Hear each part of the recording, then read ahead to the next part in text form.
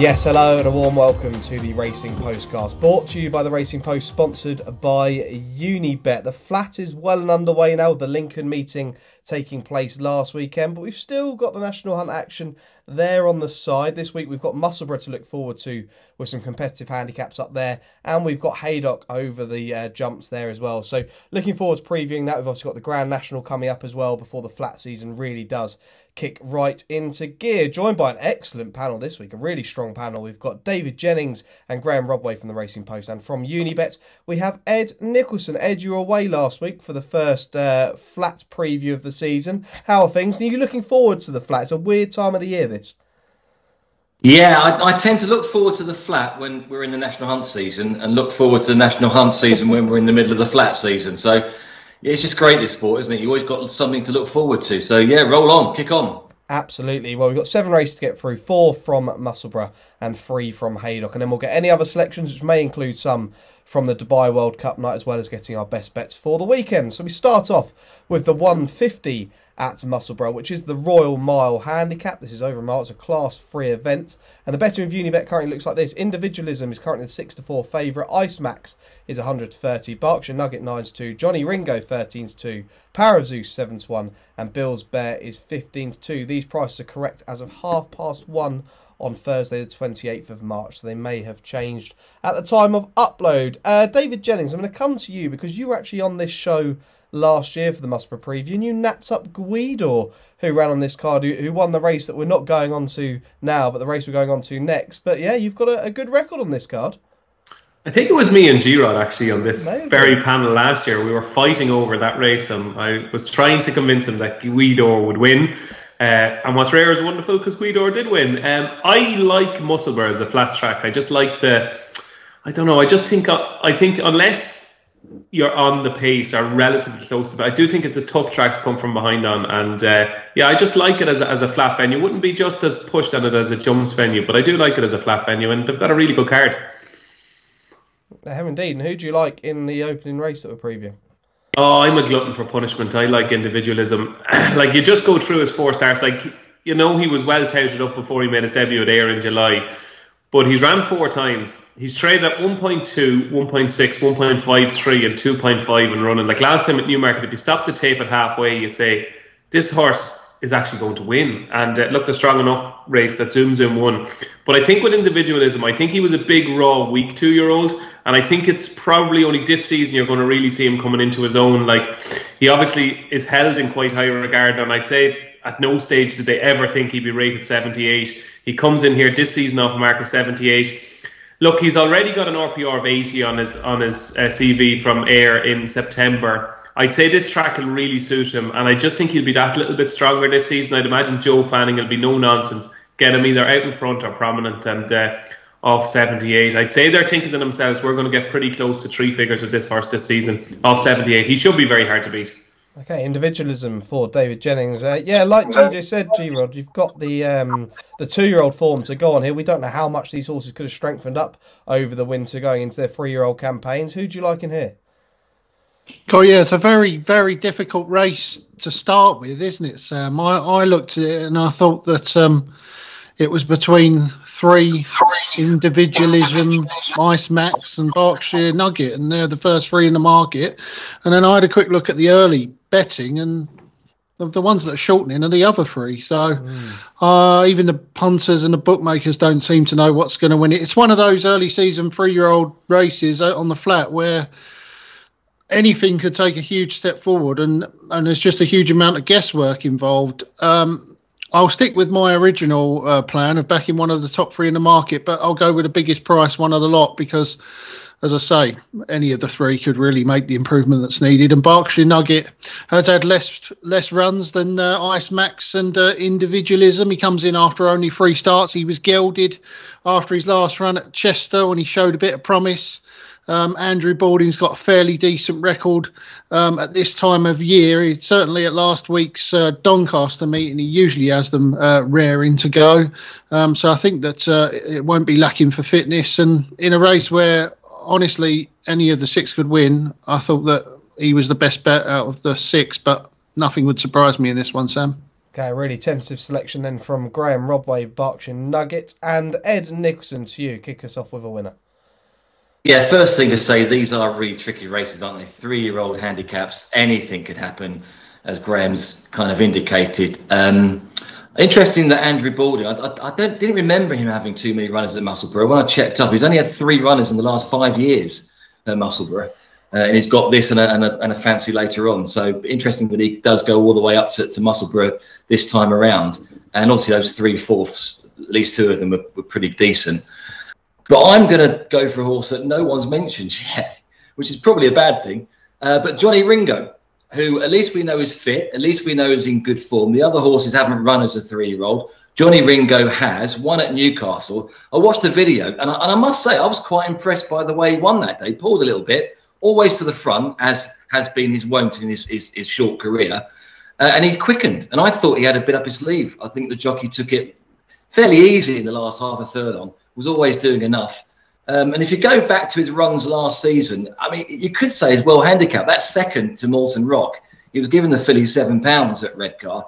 And both Moulton Rock then ran in a listed race, I think, at, at Newmarket. And the horses that finished there or thereabouts are rated 94 and and 86. One of them's won in, in Dubai this this winter. So, I mean, you could argue that he's he's, he's actually well handicapped on 82. Um, Paul Mulrennan, fantastic jockey at Mus- Musselburgh, has had the most number of rides at Musselburgh over the last five years 260 rides, 38 winners. No jockey has ridden more winners at Musselburgh in that time. So I just thought I'd go for Johnny Ringo. I also noted he had been backed 12s initially, now down to sixes. Um, I just thought there's a lot to like about Johnny Ringo. The main reason, you know, he's fit, you know, he's shown his form, you know, he's improving. Yeah, I'm also very sweet on Johnny Ringo. Um, I'll leave those clues to the end of the show. But um, yeah, Johnny Ringo, Fred Nicholson. Moving on to 225 then, which is the Silver Arrow Handicap, a Class 2 event over seven furlongs. Poet Master topping the market, Unibet 9 to 4. Northern Express 4 to 1. Gweedore, last year's winner, 9 to 2. Love de Vega is 7 to 1. Abduction and Zip are 10 to 1 and bigger about the rest of the field in here. Um, like I say, DJ was actually on Gweedore last year, but I'm going to uh, Graeme Rodway actually with this because I'm going to see if he's going to need any uh, any convincing this year to back Gweedore. Is this the selection, G-Rod?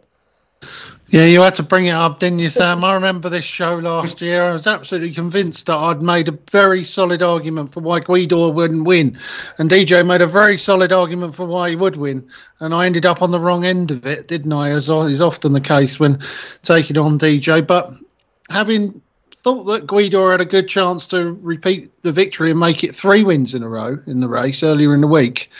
Uh, I've actually come down on uh, one against him, Northern uh, Express for um, Michael Dods and Paul Mulrennan. I mean, he, he runs in this race every year, a bit like Gweedore. You know, he was behind Gweedore um, two years ago, beaten half a length by him. He was behind him last year, beaten four lengths, but he does really love this course. You know, he, he really goes well at Musselburgh. It suits him. Michael Dods has got his team in really, really good form. He goes well fresh Northern Express.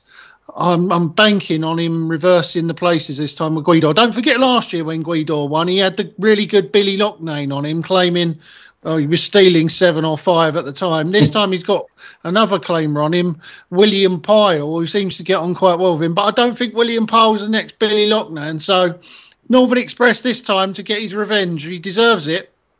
Okay, Northern Express currently around four to one. Paul Mulrennan taking the ride there, and we were just discussing off air, myself and DJ, about William Pyle. And he has taken the ride on this horse plenty before. He actually finished third on this horse in the Ayr Gold Cup.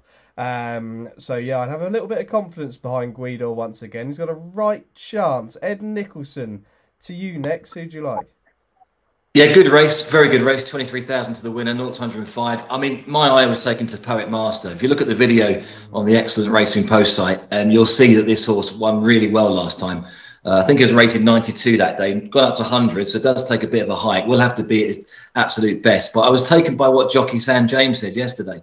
Once, sorry, that day, once again taken from the Racing Post. The quote said that he'll have to go up into black type races. Well, he isn't. He's in a list. He's in a handicap. Um, the stable are in good form. I think Karl Burke will have a great day at Musselburgh uh, on Saturday, and I think Poet uh, Poet Master will be the first winner of maybe maybe two or three. Um, Eleven to four favourite, maybe a little bit short if you're looking for value. Uh, but the way he won last time, I was just taken by that and the way that he powered home, um, beating a couple of horses that were due to take him on, but they're, they're not taking him on. I notice now uh, at the uh, at the entry at the declaration stage. So yeah, my my eye was taken to, to Poet Master. Three wins from four. He's won over the course. Um, maiden back in June last year. So we know that he goes on the track. Obviously, this is higher quality, so you take on better horses, and some of those horses against him are decent animals. But I just thought he's he's up, upwardly mobile. Karl Burke's horses remain in good form, solid chance. Yeah, certainly a four-year-old on the up, Poet Master. David Jennings, I just remember the, the words Billy the Kid being thrown around on this podcast last year, and that's that's what was happening with Gweedore. And like you said, off air, you've told me this horse has a right chance, but is he going to be your main selection?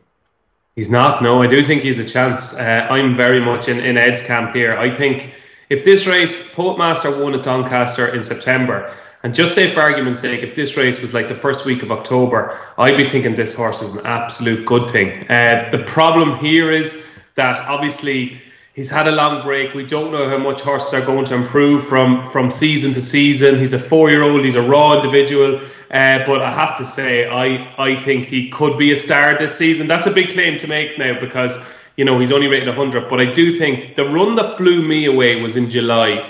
Uh, he beat Tango Man at Haydock. He made the run in that day under Sam James, and you know he was going nicely. And the the field all came to him about a furlong and a half out, and then he just whoosh, he went away. When he got one flick from Sam, he went away. I really fancy him next time. I did this po- postcast and I really fancy him next time. And um, he was just too keen in the early stage. It was a, it was a bit of a shock to the system. It was a 13 runner handicap, mm. and I thought he was chucked in that day off a mark of 92. And then I kind of said, oh no, maybe I've got this horse wrong. And I didn't back him when he won at Doncaster. But again, real strong traveller up in the van at Doncaster and won by whatever the guts of three lengths, but was valued for a bit more.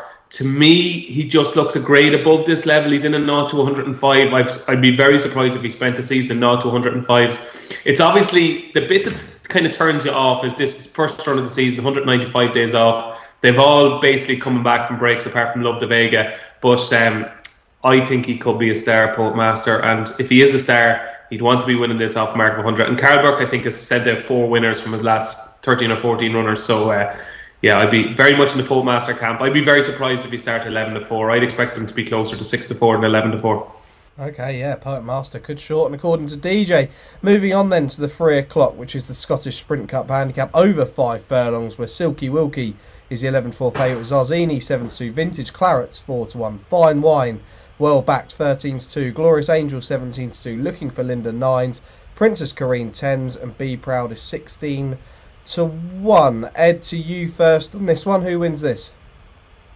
Well, Karl Burke, as I said, has got uh, some strong runners at Musselburgh. He's got the favourite here, Silky Wilkie, who who won this race 12 months ago, but he hasn't um, hasn't won a race since uh, Silky Wilkie. I think he's gone 12 races unbeaten. But what that sorry beaten. But what that means is that the handicap mark has dropped to actually lower than it was 12 months ago. I think he races off 97 this time. He won off 99 uh, last year.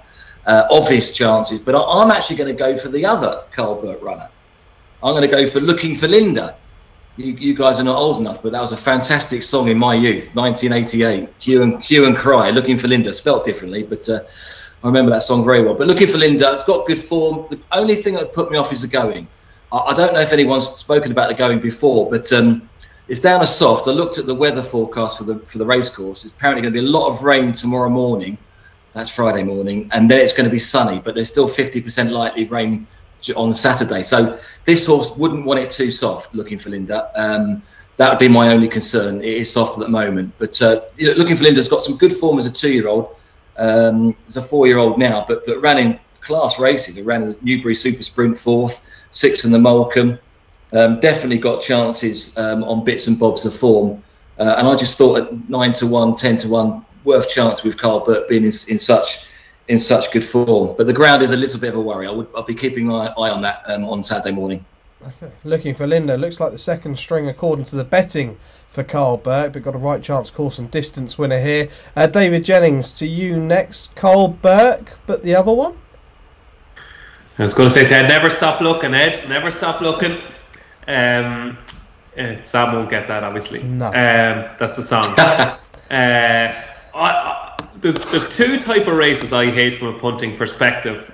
Ed is going to hate me for one of them. I, I love veterans chases, but as regards trying to find winners of veterans chasers chases, I find extremely difficult. And sprint handicaps. Sprint handicaps to me are just a, night- a nightmare. And now this is different because you've only got the eight runners, and usually it's a much bigger field. But like I just think with these, probably this six of them, I think, single figure price in the market. I'd say if you ran the race six days in a row, you'd probably get at least three or four different results. Um, and that's what always puts me off them. Look, Zarzini won the race two years ago and is a little bit of a hostage, hostage to fortune sometimes. Was drawn in one when he won it that day under Ben Curtis. Joe Fanning takes over here. Probably not terribly handicapped in the best of his form. You know, rated 82, went up three pound for just being beaten in Newcastle. So I would chance Zarzini, but I definitely won't be having a bet in it. Okay, yeah, not one for having a bet in for David Jennings, but Graeme Rodway, are you a big fan of sprint handicaps? I do like them, yeah, yeah, I love them. I, I, I missed them actually over the winter. I, I was at Cheltenham a couple of weeks ago, and I think I was the only person sitting there saying, "Oh, you know, give me a twenty-runner sprint handicap at York any day of the week over, you know, watching Ballyburn saunter around, or, or long odds on." So I can't wait for this one. Uh, certainly, we've only got eight in it though, Sam. It's not twenty runners, is it? Um, the one to be on, I think, is Vintage Clarets, who was second in the race last year, and he saved all of his best form for soft ground. As Ed's already said, uh, there's quite a good chance that conditions are going to be testing um, at Musselburgh, and I I was looking closely at looking for Linda as well, but in the end, uh, the conditions just swayed me towards Vintage Clarets. He's got really, really good form on soft and heavy ground, and he was in great form towards the end of last season.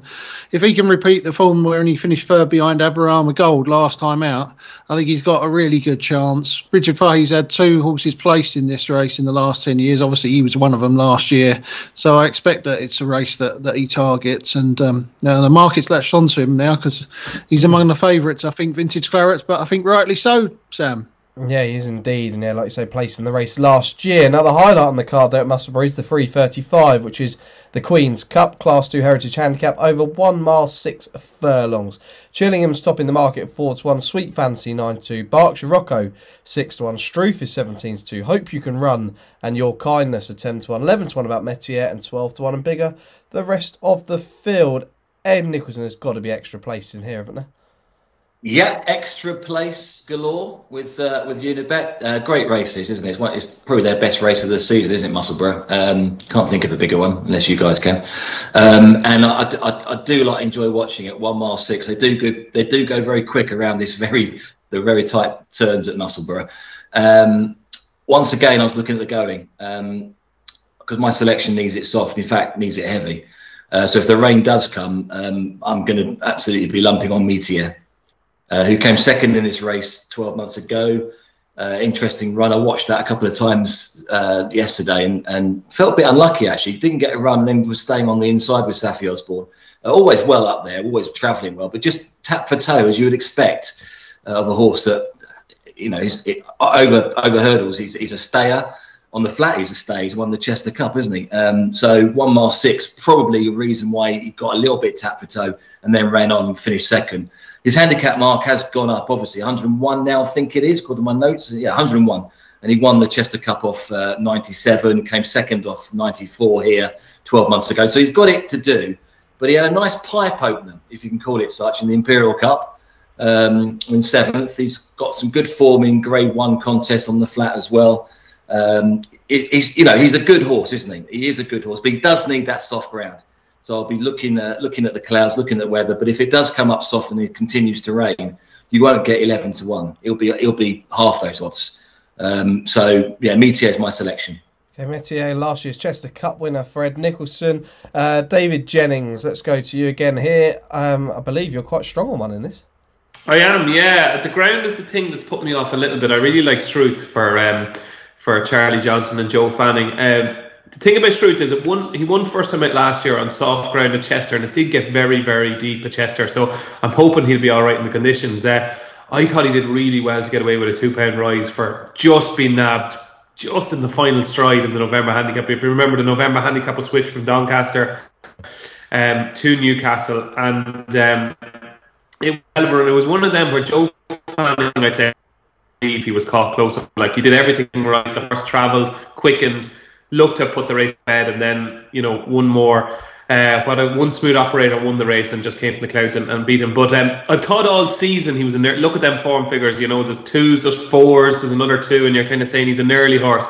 But a little bit like individualism, who we spoke about earlier on. Um, I just wonder another season under his belt. We know he goes well fresh. He's a perfect draw stall five. I think he's he's a real galloper. So I think he's over this mile six than he was over a mile and a half. And um, to me, he's just a perfect type that I want for this race. Uh, you know, the Johnstons always tend to kind of have one for this. Austrian School won it in 2019. And um, we obviously didn't have it in 2020 because of COVID. And then the Max We Can won it in 2021 as well. And they've had loads of place horses as well in it in the last decade. So I think they tend to, you know, target some of their best kind of uh, stay in handicap.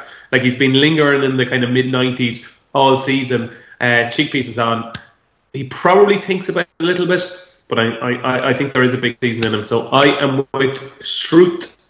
Okay, Struth for David Jennings then. Uh, Graeme Rodway, the final one to give a selection on the Queen's Cup. Who's that going to be? Uh, yeah, it's uh, Emin for me, Sam. Um, I think that again he's one who really, really likes soft ground. Um, and he's got his conditions here. Last season, he ran in this race and he was given quite an enterprising ride. They sort of bombed off in front with him, and he looked like he might go and make all the running. He just got tired towards the finish, but he went on and improved on that form later in the season. I mean, he was only beaten a length by Tashcan uh, at Chester, and he's a really smart horse conditions, isn't he? So he's quite a big old price, and uh, Declan Carroll's got a really good record with his runners at Musselburgh. So I expect him. Emin could go really well at double figure odds here. Okay, 16 to 1 for Graeme Rodway Ed Nicholson. It's worth mentioning just the offers once again. We have extra places here, but there are a uh, super boost race that we did miss out in the 225. Is that correct? Yeah, Super Boost 225, where we boost every horse in the race. So whether you'll get the next price up on the price ladder um, and those are the two offers at Musselburgh. Plenty more to come at Haydock as well. But just, I was going to ask the form guys here what they what they make of Berkshire Rocco because I was again I noticed that he was coming up from Baldings Yard and he doesn't send many to Musselburgh. And looking at his back form, I mean, he, came second in the Leger, which must have made him 116, 120 horse. He's now down to 96. But then I noticed how many seconds he's had. He's had seven seconds. Do we think he's a bit of a twicer? Yeah, he's only won. I think he's only won twice or three times. Uh, I there was a couple of occasions that probably should have won. Now he did get the, the, the, job done. I don't think he won last season, did he? But he did win the season before, I think, at Sudlow. Um, and I remember one day he just about won at Ascot. But uh, he is he is one I'd be very scared of. I think he's well handicapped, and yeah. you know maybe a race like this is the time to catch him. And uh, you know I'd imagine he should cope with conditions. Um, so it'll be it'll be interesting to see. There we go, a handy preview of Musselburgh there then. We'll be back with a preview of the three races from Haydock on the ITV card shortly after this. Want betting on the horses to be anything but flat? With an app that impresses every time out. You're on. Want to watch live streaming of races in the UK, Ireland and around the globe? And get a chance to win even bigger with three Uniboosts every day on any horses you want. Unibet, you're on. Welcome back to the Racing Postcast, brought to you by the Racing Post, sponsored by Unibet. We have had the flat action preview, we now move to the jumps action. Well, we start off with the 205 at Haydock, which is a handicap hurdle. It's the two mile Hurdle Series final handicap. And looking at the betting, Brentford Hope is the 85 to 40 favourite. Playful Saint 4 to 1. Mill Dam is 5 to 1. The Churchill Lad 13 to 2. Ballygeary 10 to 1. Mr. Mackay 10 to 1. 12 to 1. And bigger the rest here. Ed Nicholson, to you first. I think we have an offer in this race. Yeah, our uh, flagship offer, money back. Money back second or third as cash in this particular contest. Uh, good race, uh, competitive race. Uh, and one that I have a strong fancy for, though, uh, in Brentford Hope. Um, once a former, well, horse that won on his debut at Newmarket. I, I, guess you guys remember that all during the winter. He's been talked about as a Derby hopeful, but um, that went west. Uh, but he's now a decent hurdler. He's actually run 10 times over hurdles. I think he's had four wins, four seconds and a third, or something like that. Um, and he does win on flat tracks. uh, and he does win really well when he when he does get his head in front. Um, Harry Derham does really well with this type of horse, and I just thought he had quite a lot in his favour. He, he, runs well at the track, came sixth in the Swinton um, off 123. He is running off 140, and that's because he's been successful lately. Uh, he's a heavy go, going, which could be significant. The going is soft at the moment, but once again, there's more rain um, expected at Haydock. Uh, but he's also one on good to soft. So the soft going description at the moment would, would suit would suit him. Um, any softer would be okay as well. Um, I thought he had quite a lot quite a lot going for him. He's run well this season, second in the Jerry Field and one last time out. Improving horse, good on flat tracks. I thought he was the favourite to be shot at around about five to two, eleven to four.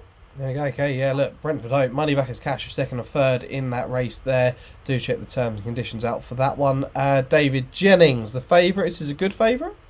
Yeah, yeah. I think this just wins. Um, I think the key thing with Brentford Hope is flat track. You know, two miles. I don't think ground is as much of an issue. I know he was beaten by Spring Note at Newbury on bottomless ground, but he came out last time at Newcastle and it was even worse. And I thought he bolted up. But according to RPRs, it was his best ever performance. He got a mark of 140 for that. Um, he's just better than these, and he just he just wins. I thought. Okay, yeah, two votes for Brentford Hope. Could this be the postcast hat trick horse, Graeme Rodway? No, not for me, uh, Sam. Sorry, I let you down, and I.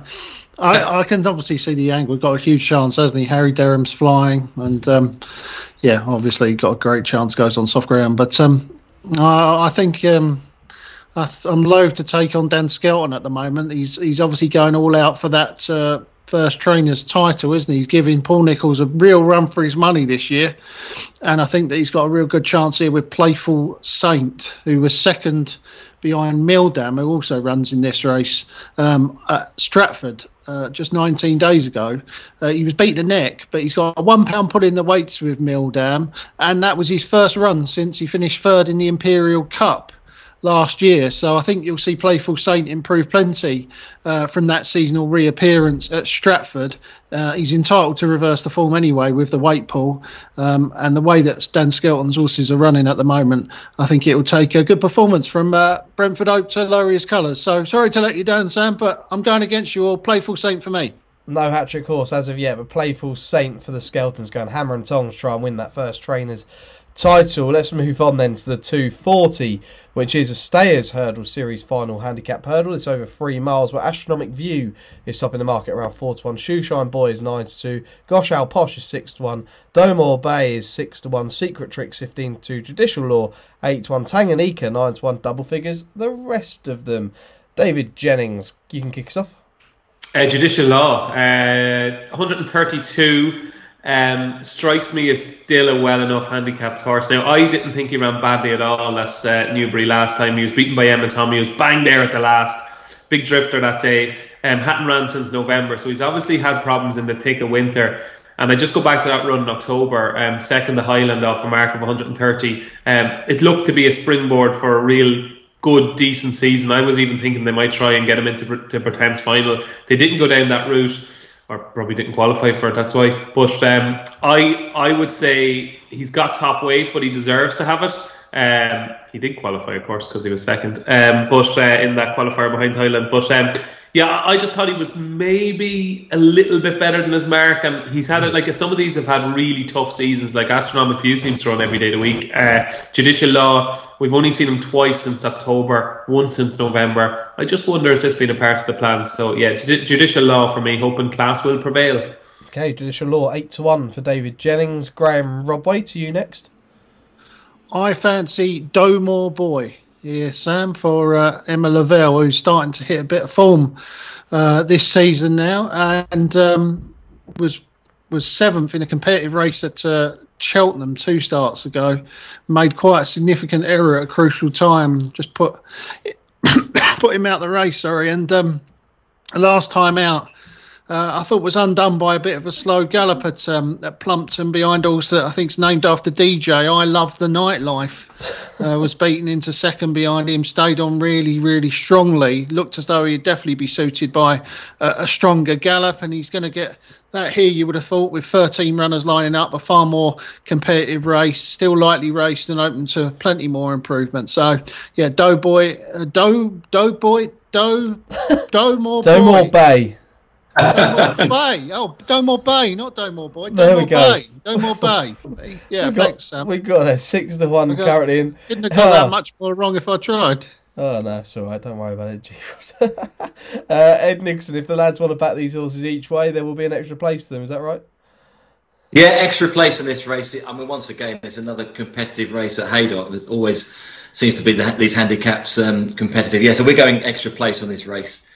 Um, I, I thought this was a good chance for Astronomic View to continue the form that he's shown um, of late. Been very consistent. Looking at um, RPR ratings, he was he's been very consistent. One one five for about four races on the trot, and did a one two three last time.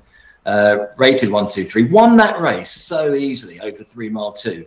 I think the key to this horse has been the the, the step up in trip. This time last year, he was running over two miles, um, and as he's gone up further, he's improved. Uh, I mean, Lucy Gardner on on this horse last time. Just, I mean, they won easily. Horse did fall at the last, but he was he still had the measure of that that horse and, and, and could have won by double the distance he did. Um, so I think the ground will suit. I think if it's heavier, it won't matter.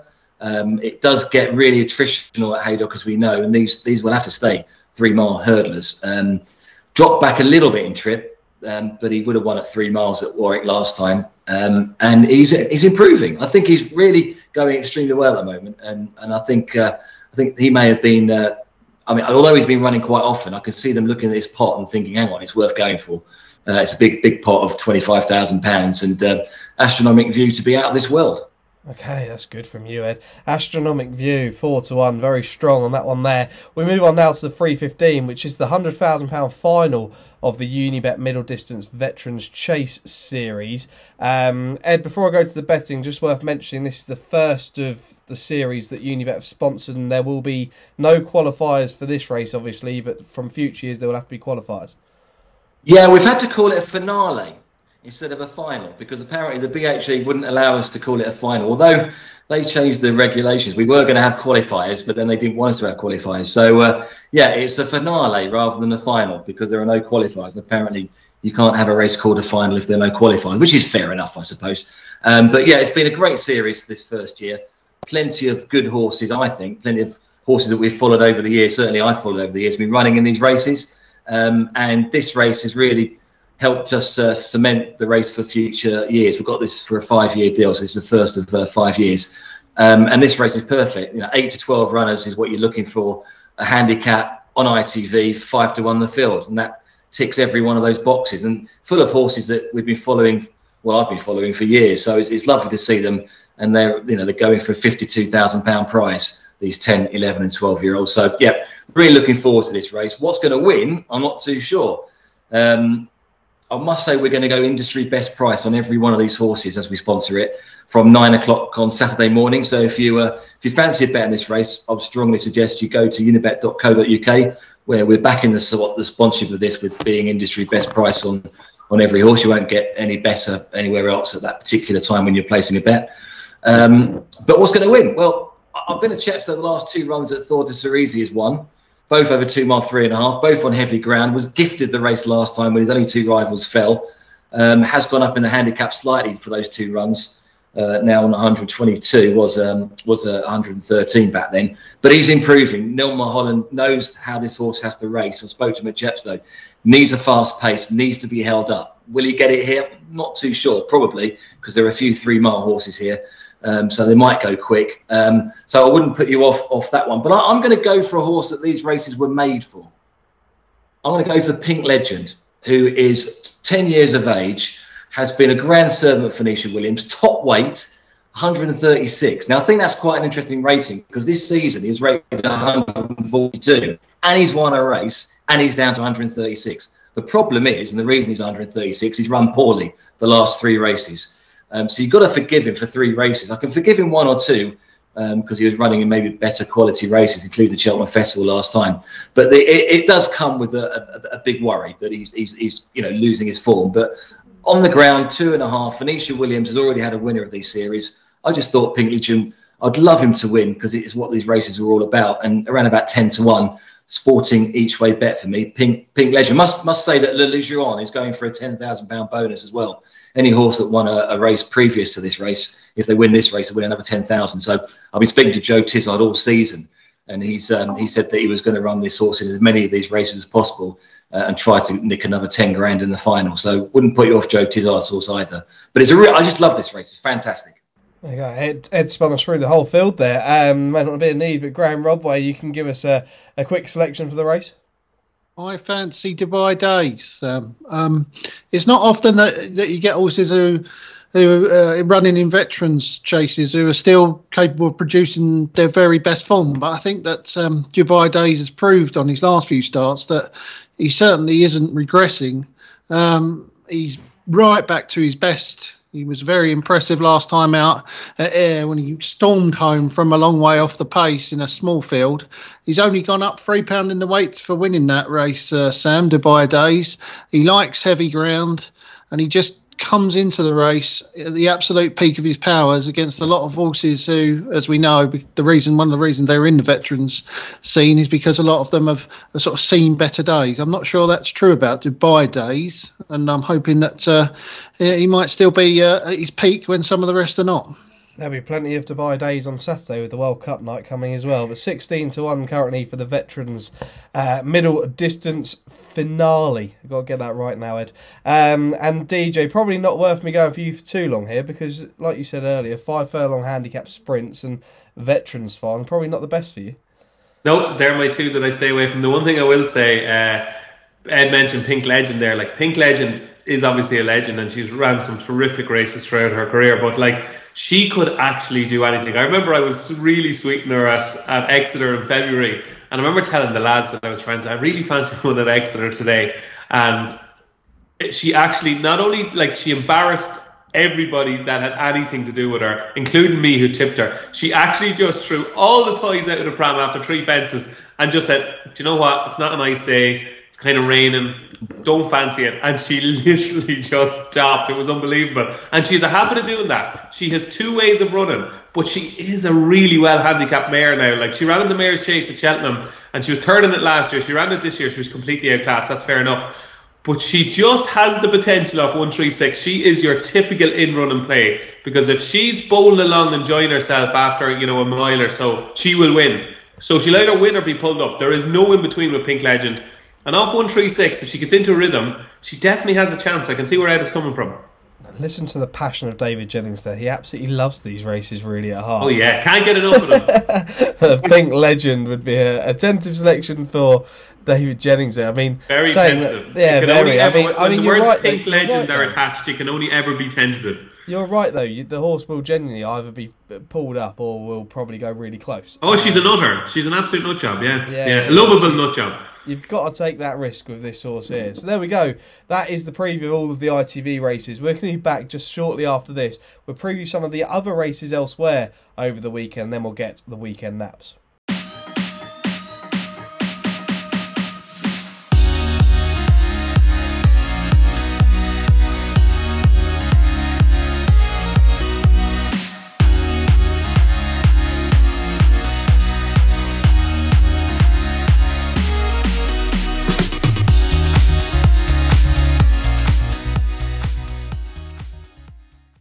Welcome back to the final part of the Racing Postcast, brought to you by the Racing Post, sponsored by Unibet, Sam Hart, David Jennings, Graeme Rodway, and Unibet's Ed Nicholson, taking you through the weekend action. We have got plenty of action on this weekend. Elsewhere, we've got Fairyhouse to look forward to, some grade ones there. We've also got the Dubai World Cup meeting, which looks to be superb. And it's Easter. Look, what more can you look forward to? It's uh, a cracking weekend of action. I'm going to start with you, Graeme Rodway. What have you got elsewhere? I'm going to try and take your, your Dubai Prince title off you here, Sam. I've got a couple that I fancy, I fancy on the on the card at Meydan. Um, uh, one of them is called Frost at Dawn, who won their last time out uh, for uh, William Knight. It was quite a shock winner that day. He Beat Star of Mystery, who's actually favourite uh, for the race here, isn't he? Um, Star of Mystery looked all over the winner, and then Frost at Dawn sort of came and, uh, well, I thought beat him quite comfortably. So I can't really understand uh, why Star of Mystery is is the bigger price, is the short price. Sorry, I know that uh, obviously that was five and this is six, but um, it was a very, very a solid time that day, and um, I think that uh, it will confirm the fall. And uh, I'm going to go take a chance in the World Cup as well. You know, I, am going to pretend that I'm some sort of, you know, dirt expert. I, will be very this. impressed. I know. I've been very impressed with Kabirkhan. You know, his last two wins and Meydan. He's absolutely bolted up, hasn't he? Doug Watson. Yeah. I mean, he was well on top there last time out. I mean, if he runs to that sort of form, then this thing Ushba Tesoro or whatever it's called, never heard of it, but apparently, you know, this is a good, this is a good, but it needs loads of pace, doesn't it, Ushba Tesoro, and it needs to like the whole thing to crash, crash around it. I don't think that'll happen. I think Kabirkhan will win some. So there's two for you uh, to, to to win at uh, Meydan on Saturday. Now tell me I'm wrong, Sam. Come on, you are the Dubai Prince. No, I don't know. This title has come from Dave Orton of all people to give me the title of Dubai Prince. But with with the Kazakh horse Kabirkhan, you, you, are taking a little bit of risk on form. Yes, the performance has been good, but this horse previously, you know, has been running in Krasnodar over in Russia. Like how much you can take from that, I really don't know. But yes, the horse has looked really, really impressive at Meydan. It would be some story for the, the Kazakh horse to go and win this, but the Japan Japanese definitely have the edge in this race, but it's not a race I'll be betting, and I haven't got a strong theory in that one. I'll I'll give a couple of selections in second, but DJ, I'll come to you. You're probably going to focus on Fairyhouse more than uh, Meydan this weekend, unless you uh, have any of the Irish runners that you're quite keen on out there in in Dubai. Uh, no, I, I, just have one at Dubai for you. Um, I thought Siskany was too big of a price in the in the stairs race. The what? Let me get the name of it. Is it the Dubai Gold Cup? Um, at twelve forty. Um, like just robbed in the race last year to be beaten by Broome, travelled all over the winner. And I just have a theory on these stayers in in, in foreign countries. I think Siskany is just a better horse in in um, in Dubai and in different countries, then it's a different tempo. Everything about the race are different, and I just think Dubai really suits Siskany. Uh, obviously, comes into the race on the back of two wins, and um, I thought he was well drawn in six. Uh, William Buick rides, and, and I, I, I, thought he would take a lot of beating in that um, Dubai Gold Cup at twelve forty. I couldn't believe he was as big as six to one. I thought that was a cork in each way bet. Uh, at Fairyhouse, uh, first of the three day um, Easter meeting, and uh, yeah, so it's a really good card. Um, one that I really do like a lot is in the 355. It's a horse trained by Tony Martin called Read to Return. A big eye catcher at the November meeting at Cheltenham uh, when the jockey picked up a band, but he looks really well handicapped off mark of 112. I thought for Maxine O'Sullivan, who'd be one of the better riders in the race. Um, later on in the card as well, the uh, Rybo handicap hurdle is the, the kind of feature race. It's worth the most money. I'll be fascinated to see if there's any support for Comfort Zone because I've got on the record to say as he's the best handicapped Irish hurdler in training, but we just haven't seen him. We never see him. He never runs uh, because he's picked up so many injuries. But uh, he gets in here off a mark of 132. Um, I'd say he has the guts of a stone to play around with. But so the market is going to be very, very informative here. If there was support for, for Comfort Zone in that 505, uh, I would be very interested in him. And then just a little bit earlier in the 430, it's the novice handicap hurdle series final. It's the return of plenty of kind of horses we saw at uh, Cheltenham. Built by Ballymore was a warm order for the Coral Cup and was uh, well beaten in the end. But I think Olympic Man is well handicapped here for Paul Townend and William Mullins. Thought he won really nicely at um, at Naas before Cheltenham. Kind of went under the radar a little bit because it was just before Cheltenham. But he looks like a horse that I think has a bright future. So Olympic Man in the 4:30, in the 5:05, as I said, I thought. Um, uh, it was comfort zone, and in the earlier race, uh, Read to return in the ladies' national at 3:55. They my three at Fairyhouse. There we go. Get those in your notebooks. Um, Ed Nicholson, come to you before I spin for a few Dubai runners. It's just great to uh, to see these good horses running so early in the season, isn't it? And no surprise with the prize money out there in Meydan. Five and a half million to the winner for the World Cup, and uh, two point seven million for the Sheema Classic. And you got that's, August po- that's pocket money for you, Ed. We all know that pocket money. I wish. Um, Auguste Rodin and Emily Upjohn uh, are out there, and um, I just, I mean, I really want to see Auguste Rodin turn into, you know, super superstar. I mean, I know he's very good horse at the moment, rated one two uh, two five. But this could be his season as a four year old. Uh, so I'm just going to take it on trust, and not even on trust. Obviously, he'll be fit for this type of race, um, and he's not even favourite, you know. So um, Auguste Rodin at five to two, best horse in the race on ratings. I, I think it's worth worth a little bit of a bet in the Sheema Classic, four o'clock Meydan.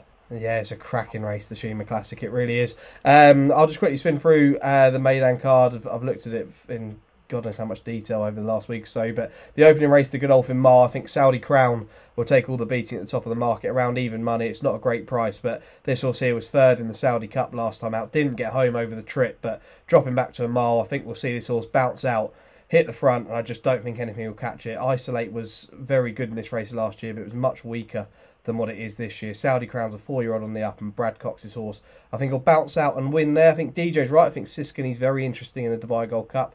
Definitely finds a lot more out in Dubai um, than in the UK, and it's never a great Group Two. The uh, Dubai Gold Cup, so definitely worth taking a chance. Think Siskany's very good. I think Tower of London was very impressive at Riyadh last time out. It's got to prove that he can do it again. Worth making note of the UAE Derby that Aidan O'Brien actually sends Henry Adams to the UAE Derby, who was actually fourth behind City of Troy and then fourth behind Rosallion, who are two well regarded 2000 Guineas types. He makes his debut on the dirt. I wouldn't be fancying the horse, but I'd definitely be watching this horse and seeing what plans Aidan has for him. And then the final selection comes in the race that G Rod had a selection in, which is the Al Quoz Sprint. Frost at Dawn is definitely one that I'll be keeping an eye on. A three year old for William Knight with Miguel Barcelona on board a really decent price this at around 12 to 1. Um, set the track record actually over five furlongs last time out, but last year's winner Danyah, I think is a superb bet in here at around 11 to 1. Actually, probably the most unexposed horse in here over this trip because this horse had 19 runs, um, won the race last year, and hasn't been seen over this trip since that win last year. Um, I think the drop back to six furlongs, I think a strong pace will suit this horse down to ground drawn in seven, which just down the middle of the track will be ideal there at Meydan.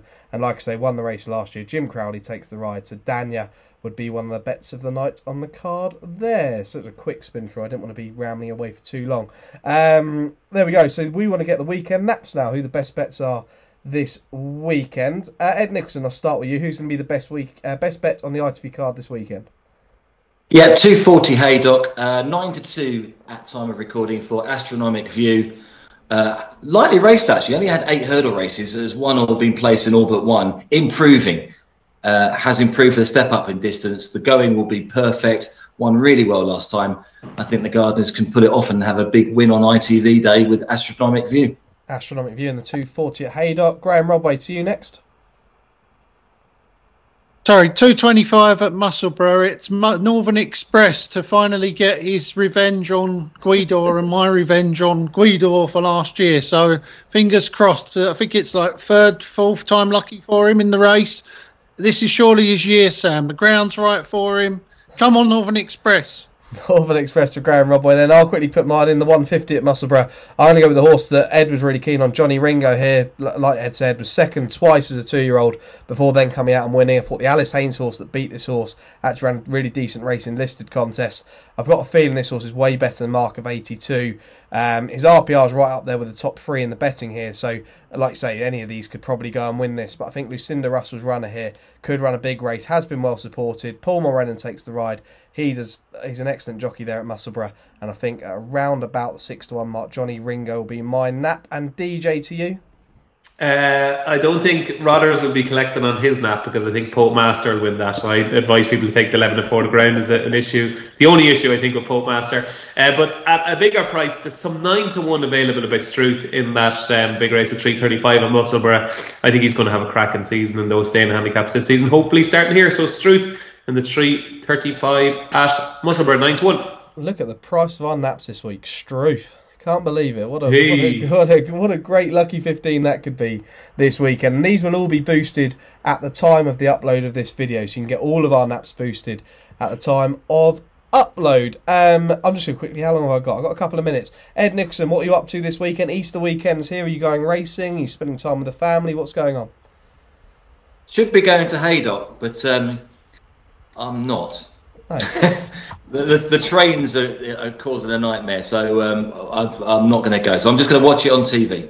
Okay, it'd be ideal if we could send the super sub up there, but unfortunately, Brett Williams is actually out in Dubai, so that lucky man's going to be picking up a, a decent suntan and come back with a, a lovely tan on his skin. Uh, David Jennings, you've probably got well, you've got Fairyhouse to look forward to this weekend, but I'm sure you've got a few Easter plans with the kids. Yeah, uh, it's on my doorstep, Fairyhouse, So might even tell Aoife to bring the kids. I think it's family fun there there on a Sunday. Uh, yeah, sure. I presume we'll be we'll be entertaining the, the children with Easter eggs and all that kind of malarkey. Uh, so they're off school this week, so they're hyper. Um, so um, yeah, it'll uh, Easter's always good fun, and it, it, Irish Grand National on Easter Monday uh, always uh, one of the highlights of the year. Absolutely. And Graeme Rodway, where are you this week, and what are the plans? Yeah, yeah, my kids have just just finished school, so they're all at home now. They're enjoying themselves on the on Easter weekend. So um, I'm off on holiday for a little bit now, Sam. Uh, be spending a bit of time with them, eating Easter eggs. I don't I don't need uh, much encouragement, as you can tell, to get involved in the the kids' Easter eggs. They're all sitting there. They they're just so tempting, you know. I can just see each each one, and I I feel bad eating their Easter eggs, but. You know, they're probably better off in my stomach than theirs, aren't they? G-Rod, so, I was having this conversation with somebody um, yesterday, right? If you are told What's your favorite like food? Like, if you're getting a takeaway, what would you get? I'd probably get curry. Curry, right? If you were told for the rest of your life you had to give up either curries or chocolate, what would you give up? I'd probably give up chocolate, actually. Yeah, so would I. I, I told somebody this yesterday, and they were horrified. They were like, "How could you give up chocolate?" I was like, "I couldn't give up like Indians or Chinese or something. I'm I'm a, I'm a savoury man."